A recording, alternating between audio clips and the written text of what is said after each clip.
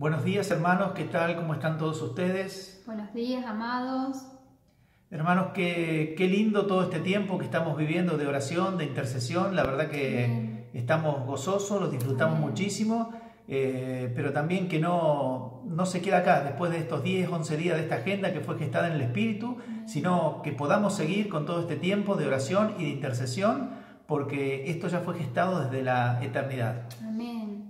Y como decía José, eh, estos días fueron gestados en la eternidad. Nosotros queríamos eh, hablar esta mañana acerca de eternidad.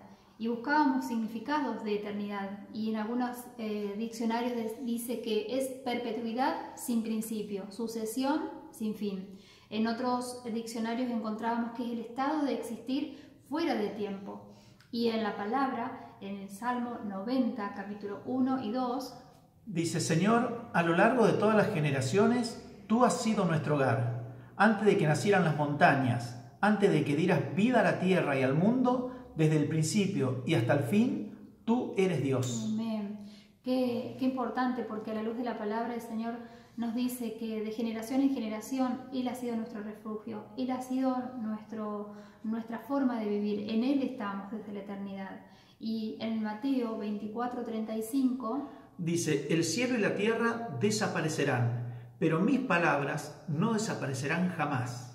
Entonces, eh, hermoso esto porque entender esto es, glorioso porque tal vez estemos pasando por aflicciones, por dificultades, por enfermedades, por el aislamiento, pero también esto pasará, todo pasará. La palabra del Señor no pasará, la palabra del Señor quedará por la eternidad.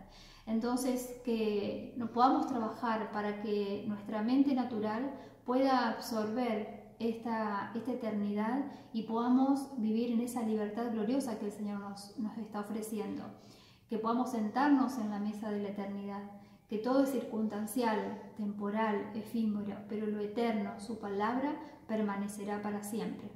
Entonces, eh, pensábamos con José que podamos desafiarnos aún más en conocerle a Él, en que lo natural sea absorbido por lo eterno y, que nuestra comprensión de- sea aumentada acerca de lo que Dios nos ha dado a gestionar y administrar y que seamos cada vez más conscientes de que somos participantes de un propósito eterno.